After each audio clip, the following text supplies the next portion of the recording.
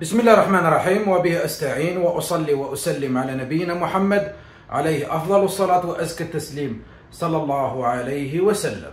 اللهم لك الحمد والشكر ما تعاقب الليل والنهار. إذا غدا الثلاثاء الفاتح من شهر أكتوبر. سنواصل إن شاء الله في مرحلة ولا فترة تثبيت المكتسبات لتلاميذي وقسمي الثانية ابتدائي. غدا هو اليوم الثالث. اليوم الثالث من فترة تثبيت المكتسبات. كالعادة فهم المنطوق تعبير شفهي وكتابة وتعبير عن الصور. تركيز بارك الله فيكم. ركزوا على الصور. التلميذ يحتاج إلى صور ويعبر عنها. دائما نجيبوا صور ونجيبوا أشياء يعبر عليها التلميذ. صور كبيرة نعلقوها في السبورة والتلميذ التلميذ يعبر عليها. إذا فهم المنطوق. اللي راح يكون غدا. في اليوم الثالث من فترة تثبيت المكتسبات راح يكون بعنوان طعام ملوث.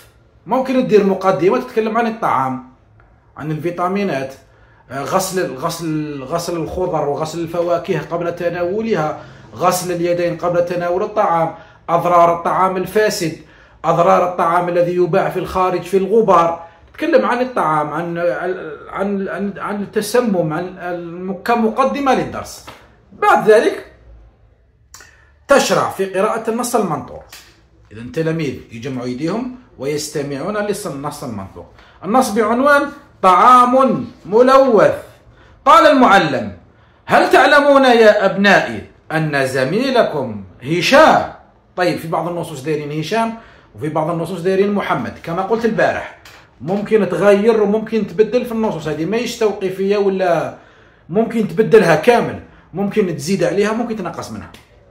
هل ت... قال المعلم هل تعلمون يا أبنائي أن زميلكم هشام يرقد في المستشفى؟ عبد الرحمن لما هو في المستشفى؟ المعلم لأنه أكل طعاما ملوثا اشتراه من أح اشتراه من أحد الباعة المتجولين.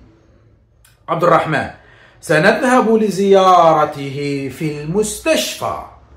إذا هذا هو النص المنطوق الأسئلة المهمة الأسئلة المهمة اللي دائما تركز عليها هي أنه تطلب من التلاميذ يعطوك عنوان آخر للنص. أعطوني عنوان آخر للنص. من هم الشخصيات ولا كم عدد الشخصيات المذكورة في النص؟ السؤال الثالث أين تجري أحداث النص؟ مكان المكان الذي تجري فيه أحداث النص.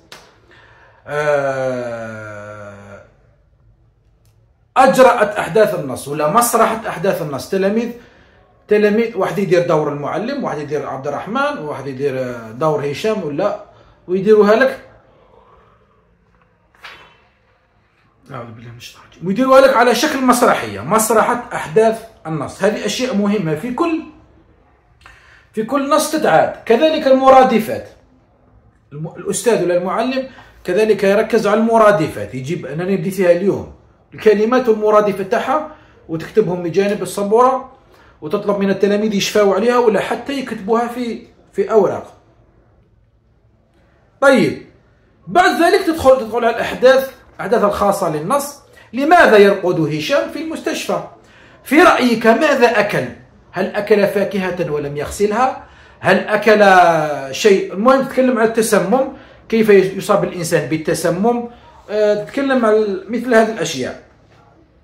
تتكلم عن الباعة المتجولين. من هم الباعة المتجولين؟ ما رأيك؟ تطلب من التلميذ يعطيك رأيك. ما رأيك في الطعام والأكل الذي يبيعه الباعة الذي يبيعه الباعة المتجولين؟ طيب بعد ذلك نمر للصيغ الصيغ عندنا الاستفهام. هل؟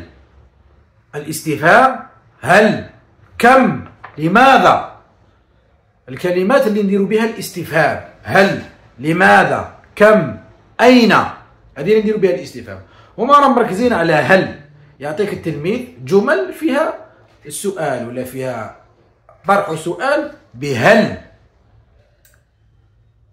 مثلا هل اشتريت الأدوات المدرسية؟ هل اشتريت المحفظة؟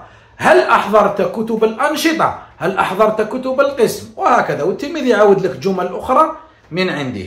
هذه في السياق. بعد ذلك نروح لاكتشاف الحرف. ثلاث حروف. قلنا كل يوم عندنا ثلاث حروف. الثلاث حروف اللي راح تكون في اليوم الثالث هي الهاء والعين والسين. هاء عين سين. طيب اليوم الأول درنا ثلاث حروف. الميم والباء والدال. اليوم الأول. اليوم الثاني درنا التاء ودرنا الضاد ودرنا الراء. اليوم الثالث غدا راح نشوفوا الهاء والعين والسين. وتركز أن التلميذ يفرق بين الحرف والصوت. تركز له على الحركات. فتحة فتحة طويلة. ضمة ضمة طويلة. كسرة كسرة طويلة. السكون وتنسى السكون. السكون وعندنا التنوين بالضم تنوين بالفتح وتنوين بالكسر. والتلميذ يعطي كلمات ونطبقوا مهارة مهارة الوعي الصوتي ويفرق بين الصوت والحرف. طيب في البداية تكون في البداية تكون شفهيا. قبل ما تكتب قبل ما تكتب الجملة في السبورة وتبداو تبدأ شفهيا. طيب هذه الحروف اللي نكتشفوها. بعد ذلك يحاول التلميذ يعطي لك جمل ولا كلمات فيها الحروف اللي تكلمنا عليها اللي هي اللي هي الهاء والعين والسين. هذه الحروف هذه الحروف اللي تركز عليها في اليوم الثالث. هاء عين سين. طيب تذكر له الحروف المشابهة. ما دام درنا اليوم العين كاين الغين نديرو ناخذ تصبح غين عين غين طيب السين تشير كذلك إلى حرف الشين اللي فيه ثلاث حروف في الأعلى.